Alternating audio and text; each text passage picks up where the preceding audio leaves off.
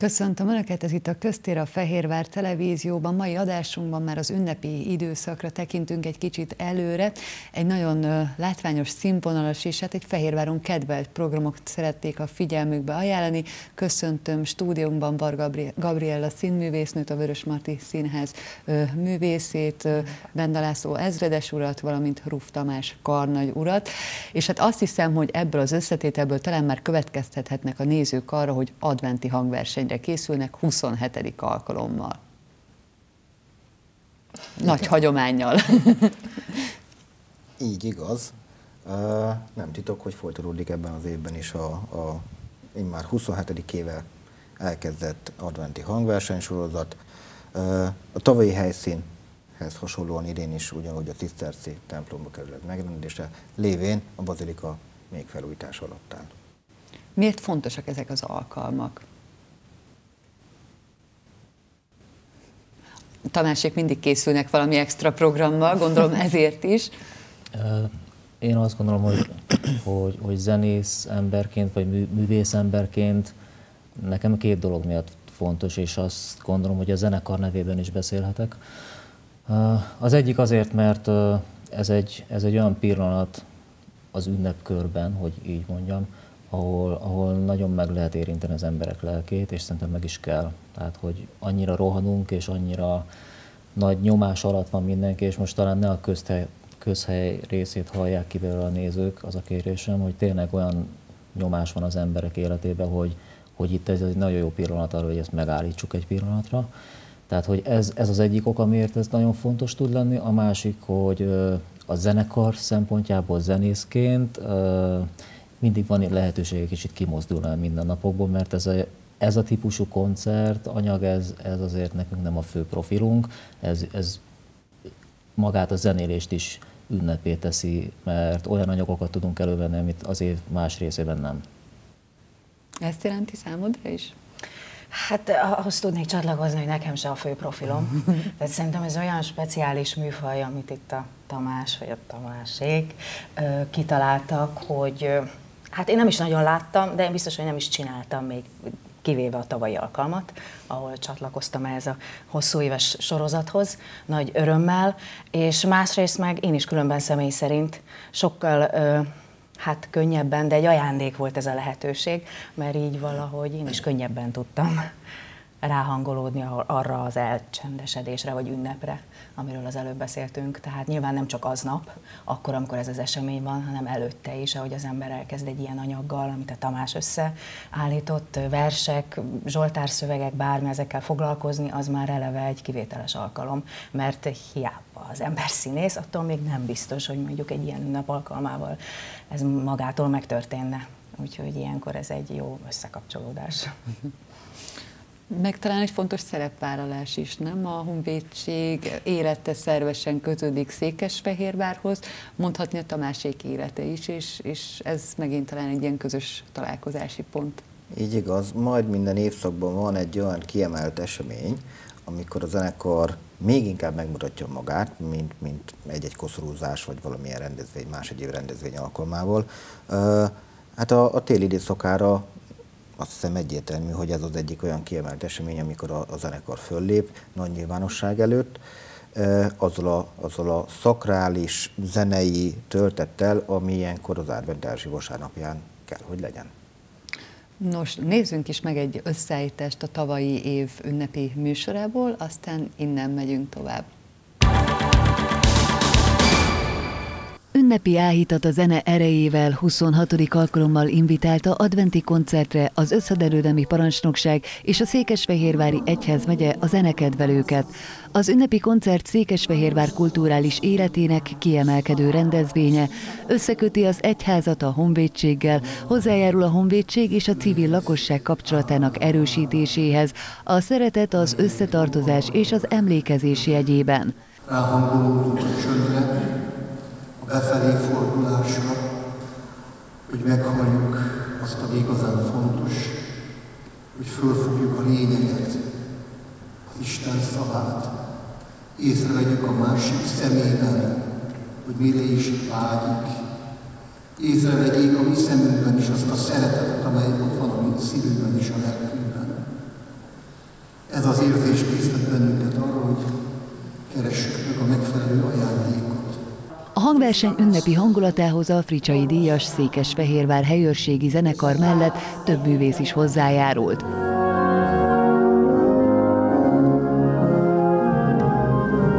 Közreműködött a Full Moon vokál együttes, Varga Gabriella színművész, Radics Éva szoprán, Alberto González bariton, illetve Tóth Marcel zongoraművész. A Ciszterci templom adott idén otthont a hangversenynek, az esten Ruf Tamás őrnagy vezényelt.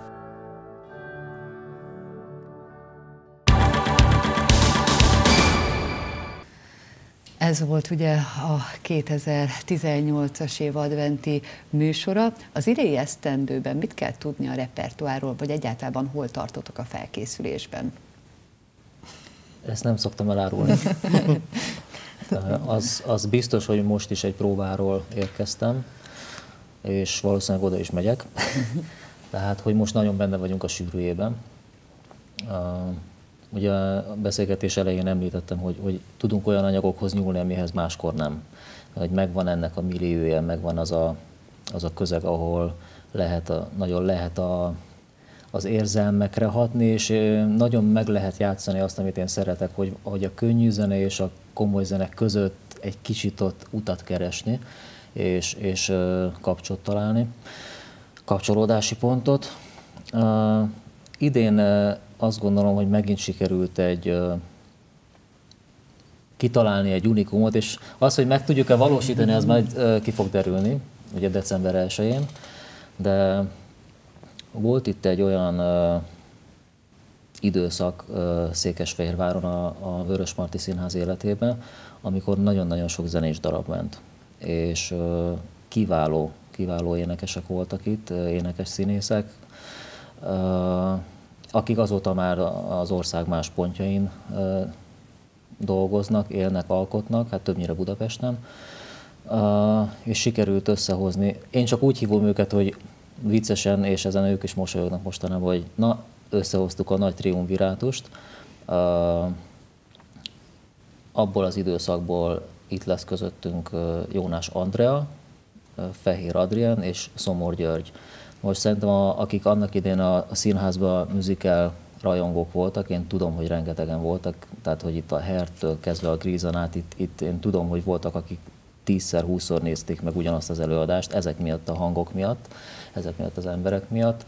Uh, szerintem ők most örülnek.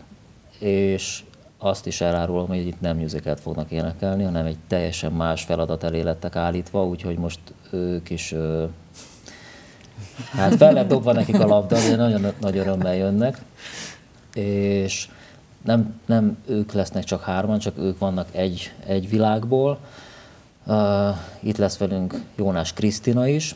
A név, a név azonosság véletlen, tehát az, hogy Jónás Krisztina és Jónás Andrea, ők nem rokonok, um, életükben először lesznek egy színpadon, uh, és ugye Kriszta lesz, aki a a klasszikus világot hozza elénk, a többiek inkább a könnyű zenét képviselik, és hát össze is lesz egy kicsit gyúrva.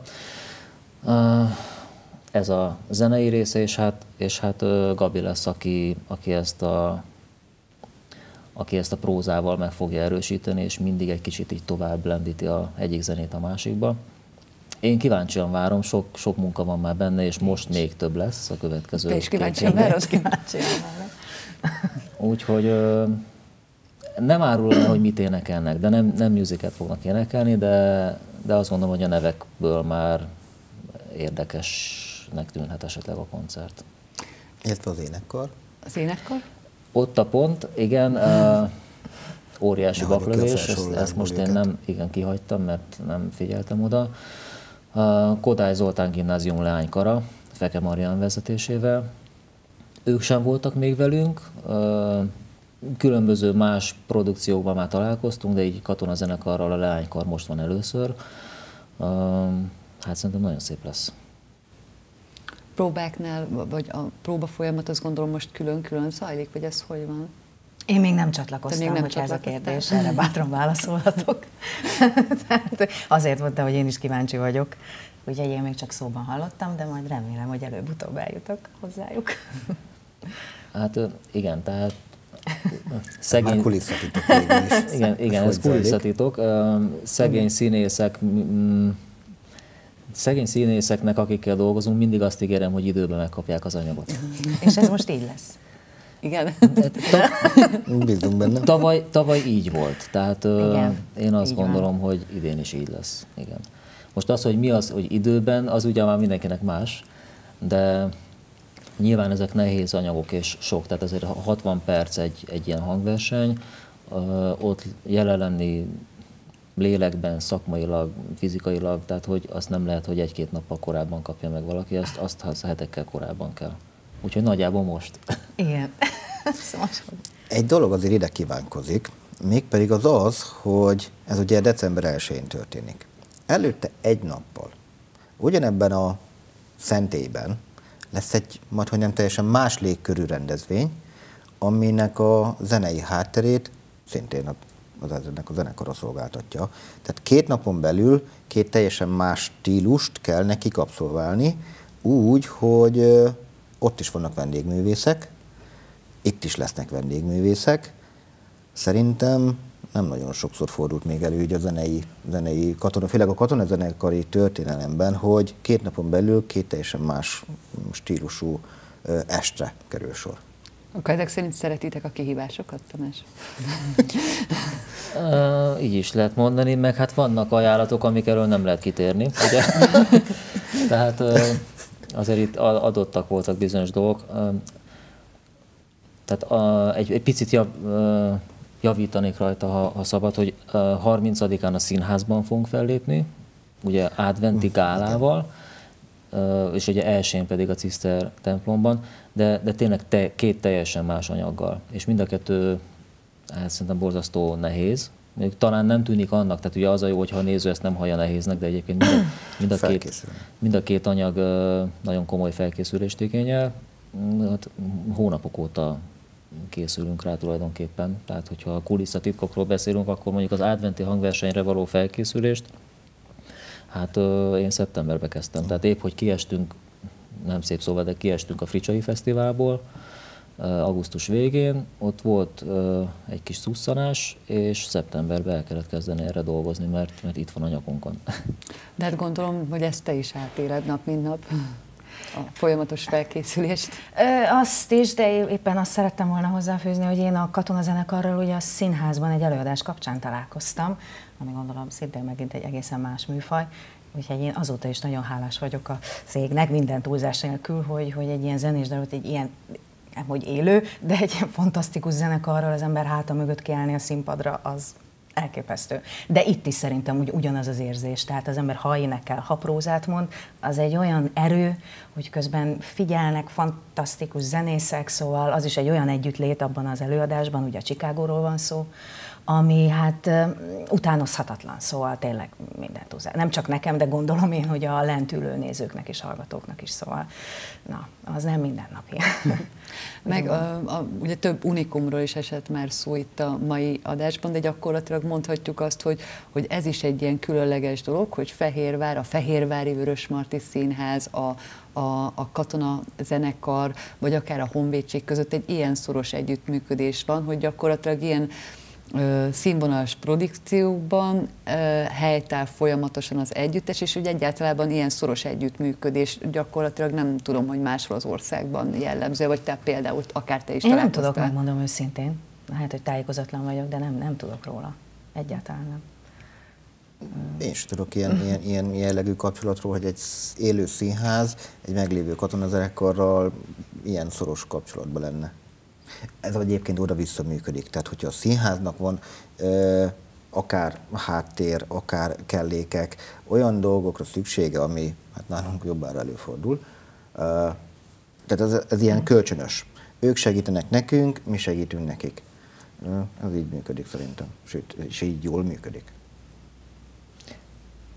Igen, ez nagyon szép zárszólat van, csak Viki már így nézett rám, és így belekezdtem, hogy igen, tehát e, nincs, nincs ilyen együttműködés az országban sehol. Tehát az, az rendszeres, hogy ugye minden katonazenekarban jobbnál jobb zenészek vannak, mindenki főiskolát, zeneakadémiát végzett. E, manapság már ugye mitten 30-40 évvel ezelőtt ez nem volt azért annyira természetes, akkor egy, egy, egy másfajta merítésből táplálkoztak a zenekarok. Manapság ugye az a belépő, hogy próbajáték, ki hol végzett, nézzük meg. Tesi? És, Tesi? Persze.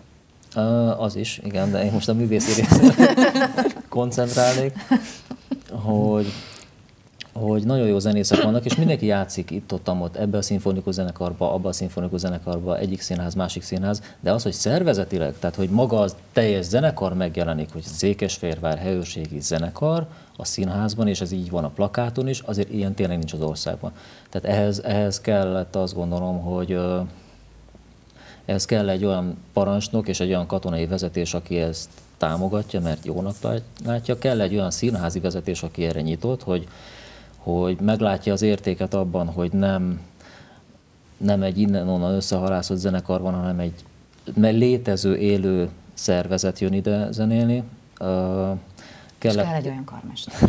És kell hozzá egy, zenekar, kell hozzá egy zenekar, akik ezt, akik ezt képesek végrehajtani, hogy katonai szóval éljünk, mert én mondhatom, hogy ezt le kell játszani, de ha valaki be van eltene oltva, akkor az nem fog menni. Tehát, hogy, hogy ez egy nagyon összetett dolog, és azt gondolom, hogy, hogy ugye Fehérvárról sok mindent szoktak mondani, hogy a, a királyok városa, a Szent István városa, és aminek én nagyon örülök, azt is szokták mondani, nem csak zenészek, hanem mindenféle rétegben, társadalmi helyzetben dolgozó élő emberek, hogy ez itt Fricsai városa. És ugye Fricsai egy nemzetközi hírű katonakarmester volt, akinek a keze alatt virágzott minden gyakorlatilag, és nagyon-nagyon elismert szakember volt a katonaságon belül, és a civil életben. Tehát ez, ő volt itt a zeneiskola alapítója, a filharmoniának az alapítója, és egy csomó olyan civil szervezetnek az alapítója katonaként, amik a mai napig élnek, és gyakorlatilag történelmi múltal rendelkeznek.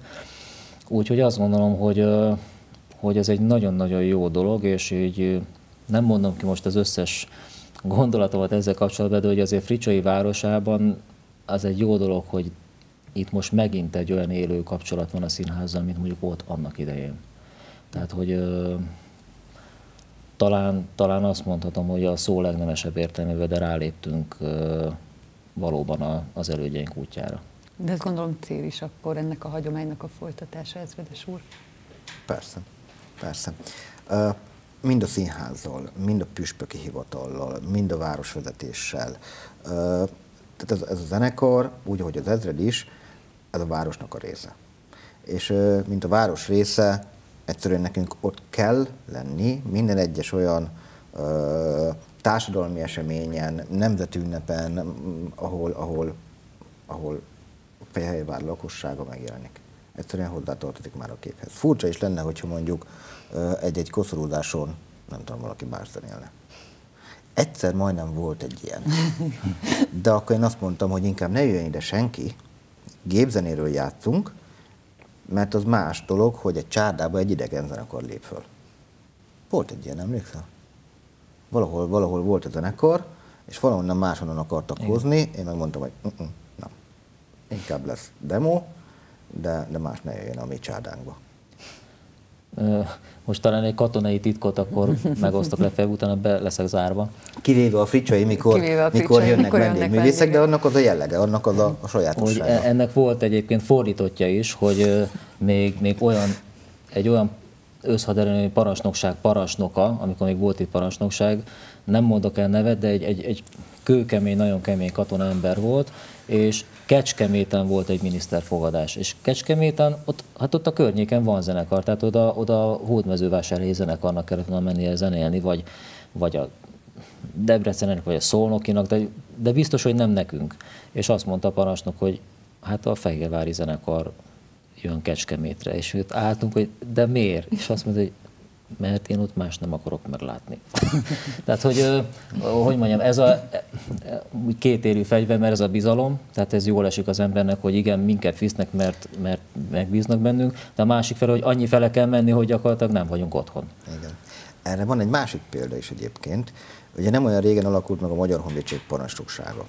És készült egy, egy, ilyen, egy ilyen videófilm, egy összeállítás, tulajdonképpen az a budai várban játszódik, és melyik zenekarban ott? A Fehérvári. Pedig Kettő zenekar van Budapesten. Mert ezt titeket dicsér. Tehát visznek, mint a Igen. cukrot. Ezt titeket dicsér. Nos, hát annyit beszéltünk már a, a katonazenéről, meg az emlékezetes pillanatokról, meg a, a közösség erejéről, hogy most nézzünk meg egy összeállítást, amit a Fricsai Katonazenekari Fesztiválon készítettünk.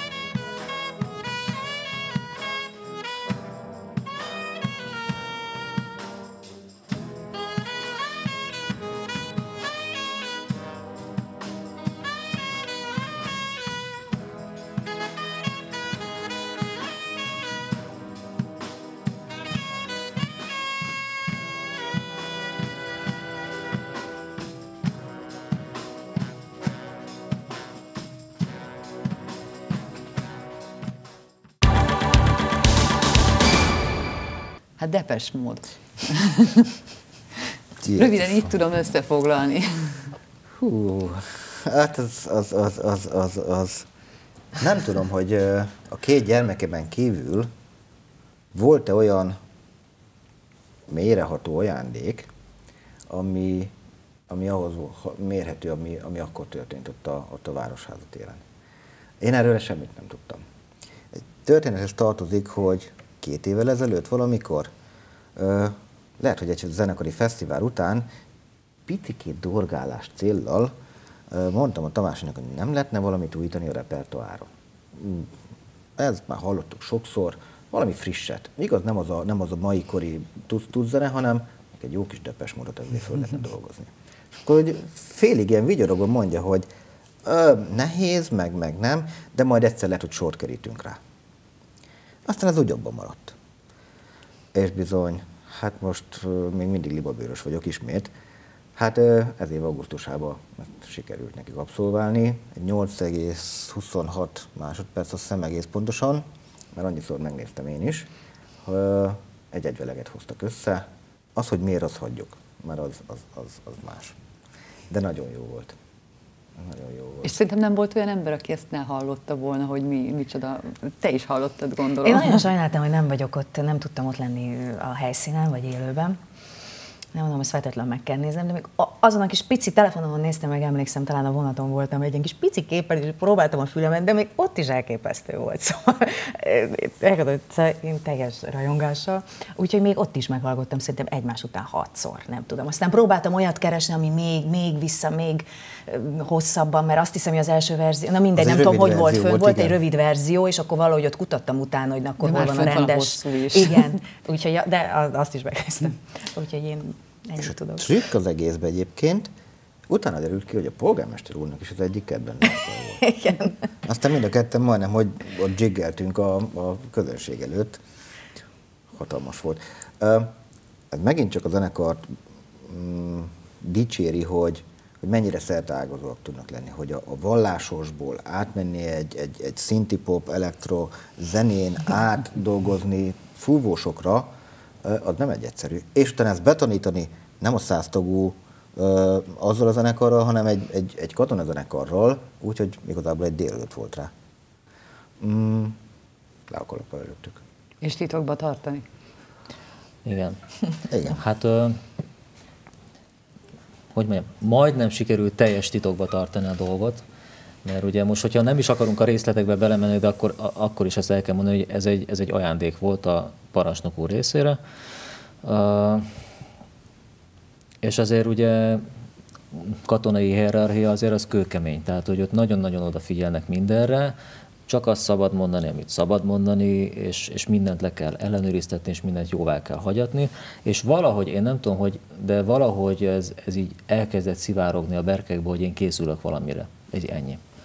És azon mindenki elkezdett egy kicsit úgy aggódni, hogy hú, mi, mi, most én mire készülök, hogy te jó ég, ott mi lesz, és akkor már jöttek a telefonok, hogy ezredes úr, nem szeretem a meglepetéseket, hogy jó gondolja meg, hogy mit csinálok, és hogy azonnal árulja meg, hogy mire készülök, mert ez így nem mehet tovább. És akkor egy nagyon szűk tímbe leültünk, és elmondtam, hogy nézzétek, ezt tervezem, és ez lesz. És itt már nincs visszaút, mert annyi munka van benne, hogy itt már ezt meg kell csinálni. Akkor akik most mindegy is nézők szempontjából, akik ott ültek, egy kicsit így gondolkodtak, és mondták, hogy azt engedélyezni Hát fogja. ez mehet, nincs ebbe baj. Ha mondom, én is úgy, úgy látom, úgyhogy, úgyhogy végül is ennyi előtörténet azért volt, volt a dolognak, hogy... Nekem februárban lesz. Igen, és, jó, és mi képezi a megrendelés tárgyát? Hát Ugye most átmentik, nem nagyon érek rá, azt nem kell mondani. Majd utána. És ezt sikerült neki teljes titokba tartani. Majdnem elszólta magát az egyik srác fönnap a Városházad egy dísztermébe, hogy, hogy majd figyeljek a vége felé. De nem tudtam, hogy miért. és hát mindvégig teljes titokba maradt. Csak mikor Tamás kilépett oda a karmesteri pulpitusra, és elkezdett beszélni, és így Jézusom, mondom, ez rólam szól. Ah, köszönöm, köszönöm. Csak azt tudom nekik mondani. Életre szóló élmény. Egy életre szóló élmény, az biztos. De nem csak az ezredes úr. Szerintem szóval az az elképesztő, És hogy benne. egy, és ez egy olyan együttes, amit mondjuk ki, hát nem egy mai, ugye? Tehát nem is biztos, hogy persze nyilván nagyon vegyes ilyenkor, hogy, hogy hát ott a rengeteg ember közül most hány, milyen életkorú, stb. De én sem mondanám azt, hogy persze, hogy ismerem, de hogy most hú, ők a, bocsánat, de hogy nem a kedvenc, de akkor is olyan fantasztikusan szólt, hogy ez teljesen elfelejtette az emberre, hogy most szeretem ezt a Depes Mód zenekart, vagy nem szeretem. Mert na mindegy, csak ennyi. Hát nekem, nekem egy, egyébként, ha még ez a néhány mondat így belefér, hogy, hogy egy, egy nagyon érdekes élmény volt, de én megmondom őszintén, ezredes úrnak is megmondtam, hogy hát én nem nagyon szeretem a Depes módot, tehát hogy nem hallgattam. Mert én, én mást hallgattam, most mindenki, a zene az óriási, óriási szertágazó terület, és, és, és én másfajta zenéket hallgattam, amikor a többiek Depes módot hallgattak, én meg éppen más hallgattam. És ö, nyilván volt a fülembe egy-két szám, hiszen, hiszen na, voltak nagy slágerék, de összességében nem, nem nagyon hozott lázba. Viszont azt tudtam, hogy ha neki ez a kedvence, akkor ezt kell megcsinálni, és ugye úgy, úgy indult az egész, hogy elkezdtem akkor a Depes mód irodalmat így végighallgatni. és akkor így hallgattam a Akkor lemezeket. Depes mód kiképzést kaptál. Igen. És most lett Van, rajongó. van egy pár lemezük. Igen, és akkor nyakra főre depes módot hallgattam, és már, már a feleségem kérdezte, hogy most ezt, ezt most, most ezt így meddig akarom még ezt csinálni. Mondtam neki, hogy addig, amíg össze nem áll bennem, hogy melyik számokkal akarok dolgozni. És akkor szép lassan tisztult, tisztult, tisztult, megcsináltam, ö, beleszerettem, tehát hogy ez úgy, ugye bele kell merülni, és minél többet dolgoztam, mert úgy annál jobban a magaménak éreztem. És előadtuk tényleg ajándékképpen, tehát hogy hm, egyszer az életben van egy ilyen, oké, okay, eljátszuk. És a, utána jött nekem a nagy ledöbbenés, a le, nem, az első, ez a nulladik ledöbbenés az volt, amikor a zenekarral elpróbáltuk először, és a zenekar azt mondta, hogy hát ez tök jó. Tehát, hogy nem, nem, semmi ellenérzés nem volt bennük, hogy most ezt miért kell, meg olyan, hanem eljátszottuk, és így, na, játsszuk el ezt még egyszer, hogy, hogy ők is egy kicsit úgy rákaptak az ízére, elpróbáltuk egyszer, kétszer, háromszor, így amúgy, tehát hogy nyilván egy kis műhely munka még volt vele, és, és nagyon lelkesen segítettek ebbe, hogy ez a dolog ez tényleg mire fesztivál van, addigra, addigra összeálljon. És eljátszottuk a, a nézőknek, és óriási siker volt ott helyben, azt lehetett érezni, de utána jött nekem a megdöbbenés, hogy másnap reggel jött egy üzenet polgármester úrtól, hogy én csak annyit tudtam, hogy a rendezvény után mondta, hogy hát ő nagyon örül ennek, mert neki is a kedvence. Hát mondom, én is örülök, ezt nem tudtam, most már tudjuk. És másnap reggel üzent, hogy, hogy hát most tartunk 25 ezer megtekintésnél, és nem tudom hány like-nál, és így néztem. Én nem nagyon foglalkoztam soha se egyik közösségi oldallal sem, mert nem az én világom. Uh, és ezen így elgondolkodtam, hogy 12 óra sem telt el, még a rendezvény vége óta, és már 25 ezeren nézték és lájkolták, és, és aztán úgy elkezdtem figyelni, hogy na mi történik. És néhány hét alatt ez több százezer fölé ment. A megtekintés, és a, a, a lájkolás, meg a nem tudom micsoda, Meg a kommentek, ami meg a kommentek, és, és tulajdonképpen nyilván volt egy-kettő negatív, mert az mindig van, de, de ezrével a pozitív kommentek, és megdöbbentő volt, hogy most tartunk talán 570 ezer megtekintésnél, és augusztus 20-án már 1 millió fölötti elérésnél volt.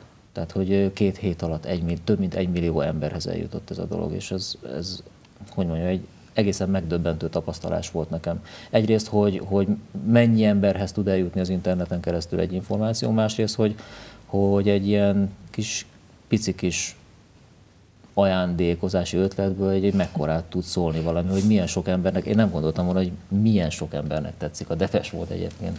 Hát azért Hát azt nagy rajongó tábor van persze azért. De. Egy pici adalék hadd legyen ehhez a depes módot. Hogyha valaki úgy elolvassa ö, a szövegeket, amit ez a zenekar énekel, és itt vissza lehet csatolni az adventhez. Nagyon sok vallási tartalma van azoknak a daloknak, amiket ők játszanak. Ö, nem csak egyszerű blabla, mint a mai slágerek, hanem, hanem azoknak a szövegeknek bizony, hogyha valaki végig és belegondol, és mély érzéssel belegondol, a legtöbb ének vallási töltete van. Ajánlom figyelmébe, tisztelt hallgatóság. Hát remélem, hogy sokan utána néznek, és hát adventkor pedig remélem, hogy sokan ellátogatnak a koncertre, ami ugye december 1-én lesz. Hány órakor kezdődik majd? 19. 19 órakor. 18 mm, órakor ott Szent Mise van, és ahogy annak vége, kicsit bekészülünk, és 19 órakor kezdődik a koncert. Én ehhez sok sikert kívánok. Köszönjük. Köszönjük szépen. Köszönjük szépen. Köszönöm, hogy itt voltatok, nézőinknek pedig köszönöm a figyelmet. Köztérrel legközelebb egy hét múlva pénteken este. Számítok majd a figyelmükre itt a Fehérvár Televízióban. Viszontlátásra!